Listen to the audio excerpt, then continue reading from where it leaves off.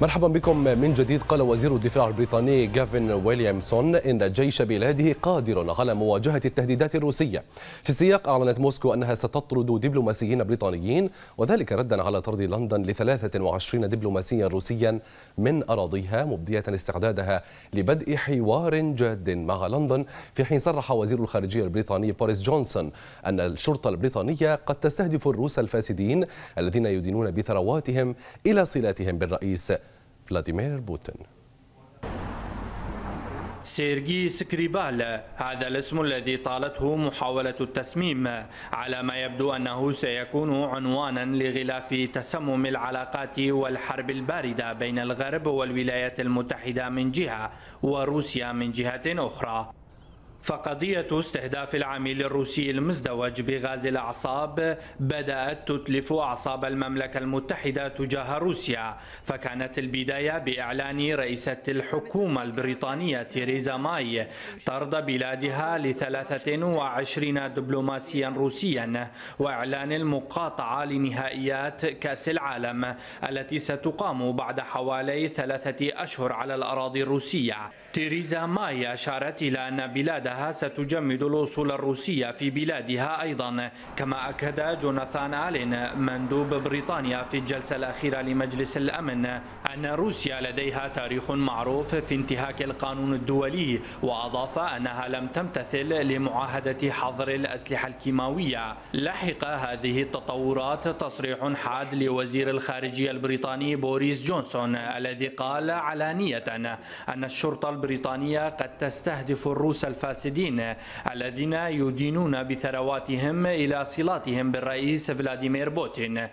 القرارات البريطانية لاقت تأييدا من حلفائها لا سيما فرنسا والولايات المتحدة. فنيكي هيلي مندوبة أمريكا في مجلس الأمن أعلنت مساندة بلادها لبريطانيا وتأييدها لجميع القرارات الصادرة عن لندن تجاه موسكو في قضية محاولة تسميم العميل السابق سكريبال في حين أعرب المندوب الفرنسي عن ثقة بلاده في التحقيقات البريطانية للوصول إلى حيثيات تلك القضية. الرد الروسي جاء سريعا بقول خارجيتها أن الحكومة البريطانية اختارت المواجهة مع موسكو وأكدت في بيان مقتضب أن الرد سيكون قريبا واصفة قرارات الحكومة البريطانية بأنها استفزاز وقح ومتعجرف غير مسبوق مبدية في الوقت ذاته استعدادها لبدء حوار جاد مع لندن بخصوص قضية الجاسوس المزدوج وفي إجراء مماثل لما فعلته لندن.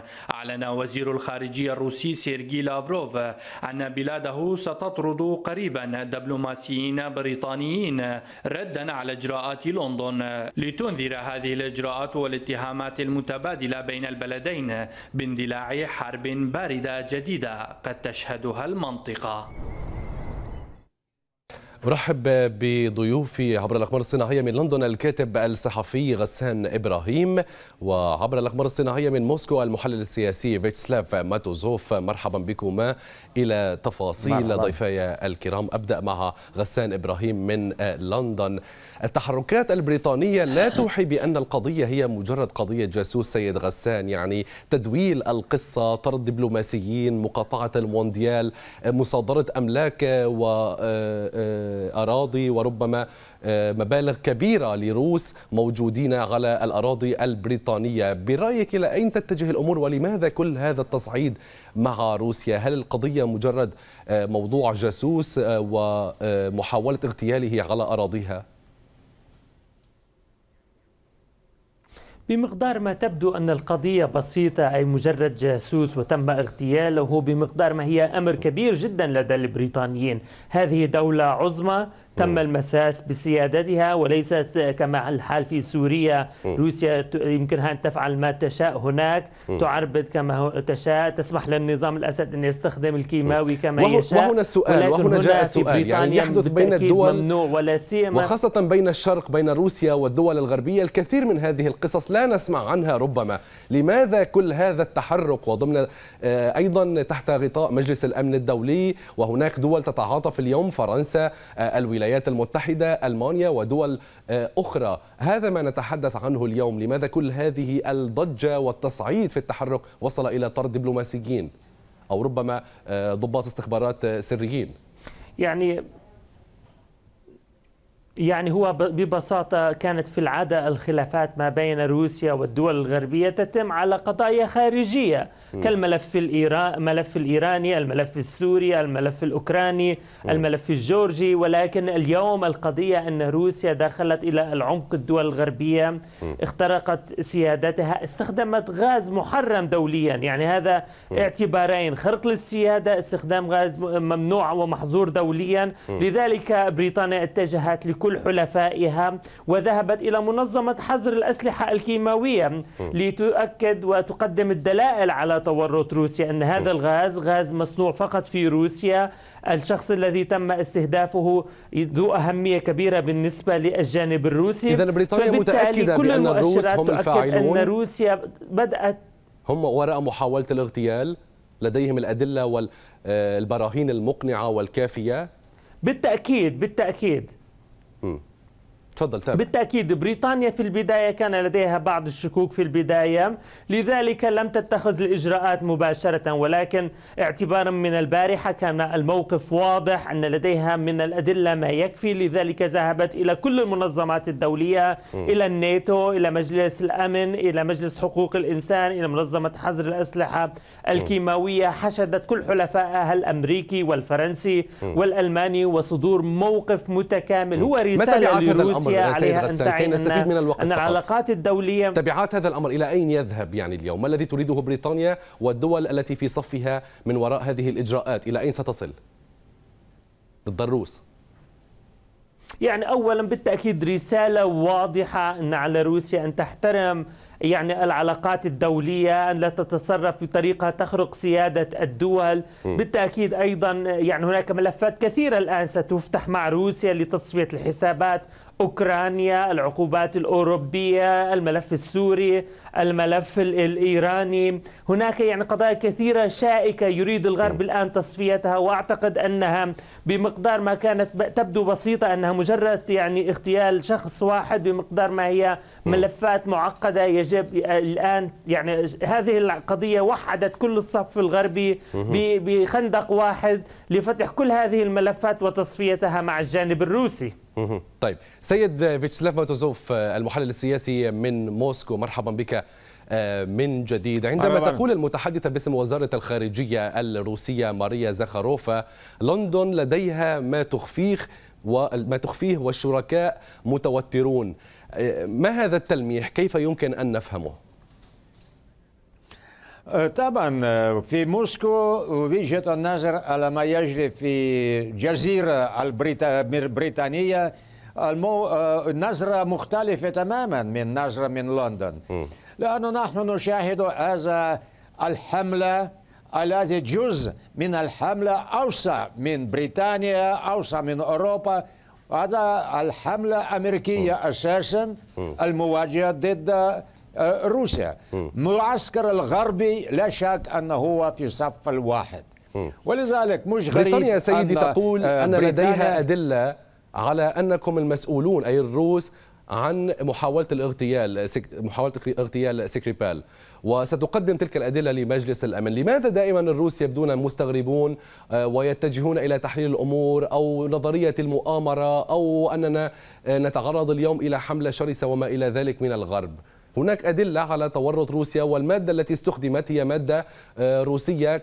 صحيح أنها توقف آه، آه، تصنيعها منذ الحقبة السوفيتية منذ التسعينات ولكنها مادة روسية ولديهم أدلة على أن روسيا هي من جلبتها إلى الأراضي البريطانية. وغاز الأعصاب أتحدث عنه لمحاولة اغتيال الجاسوس الذي خرج بصفقة وهو محمي من الطرفين.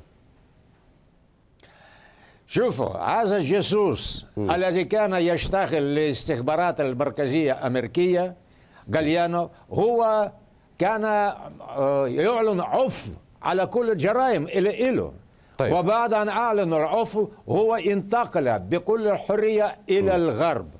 وساكن آه، في بريطانيا. م. أو أمريكا عفوا ولذلك هو آه، قال أنه عنده هو الشخص الأساسي في اختيار هذا المادة.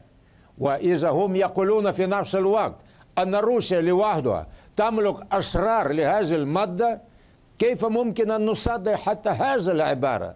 لأن هذا الشخص الذي هو يعتبر أنه هو وراء هذه المادة وموجود في الغرب. 14 سنة. طيب اليوم هناك تحرك دولي سيد سيد آه، ماتوزوف. هناك تحرك دولي غربي آه، ضد موسكو. وهناك أدلة يقولون صحيح. وهناك وبدأت الخطوات التصعيدية بطرد الدبلوماسيين. كيف سترد موسكو على هذه الخطوات؟ هل سترد بالمثل وتكتفي بهذا الأمر؟ أم إلى أين تتجه الأمور؟ يتحدثون عن في دلائل.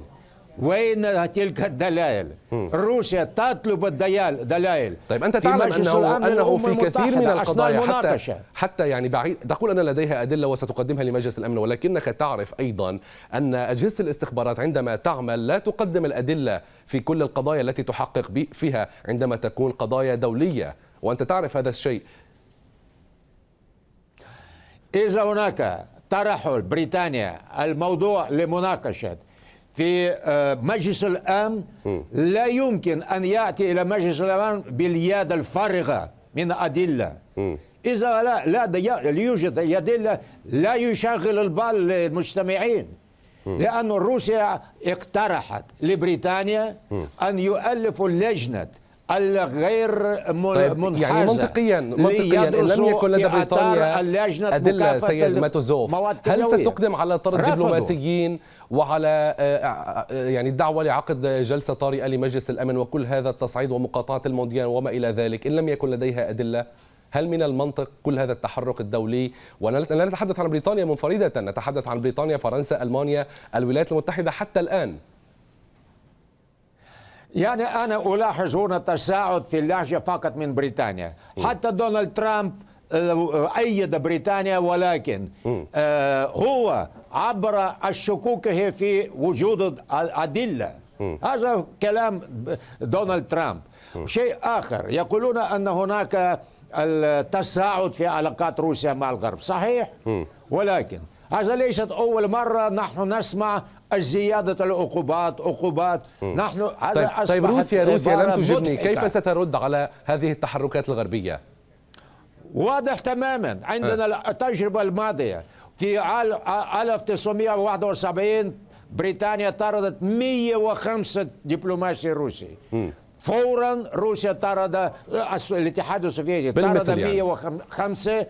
الدبلوماسي الامريكي في 85 25 دبلوماسي طردوا نفس طيب. العدد الآن 23 أنا أكيد أنه بعد مرور أي كم وقت يطردوا 23 بالدب دبلوماسي بريطاني من روسيا نعم. ليست لدي روسيا اهتمام الكبير لموقف بريطانيا علاقات بين روسيا وبريطانيا مش طيب. منت... طيب. آه واسعة طيب. إذا بيطردوا أو يعتقلوا ممتلكات الناس الأغنياء اللي موجودة ممتلكات أو حسابات في بنوك البريطانية.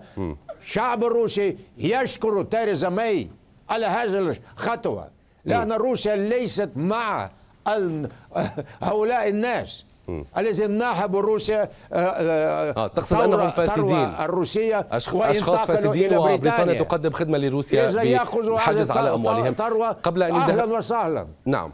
غسان إبراهيم بدقيقة لو سمحت إلى أين تتجه الأمور؟ وهل يمكن أن نشهد جبهة أوروبية كاملة خاصة مع الاجتماع المرتقب آه، ضد روسيا؟ ومزيد من الإجراءات آه، العقابية ضد روسيا بالتأكيد غربيا. يبدو أننا نتجه نحو يبدو أننا نتجه نحو حرب باردة. الاتحاد الأوروبي جميعه سوف يصطف مع بريطانيا ليس محبة ببريطانيا بل كرها بروسيا التي اعتدت على العديد من الدول الأوروبية.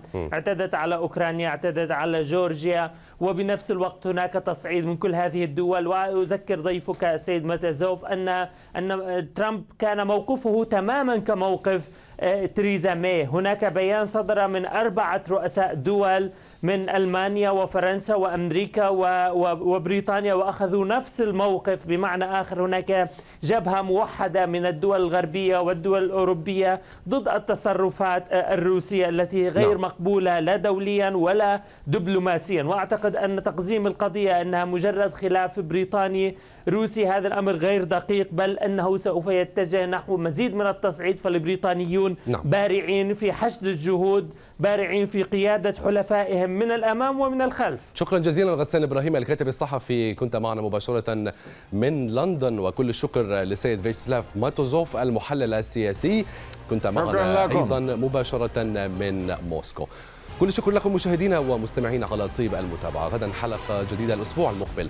حلقات جديدة من تفاصيل انتظرونا وتابعونا دائما. إلى اللقاء.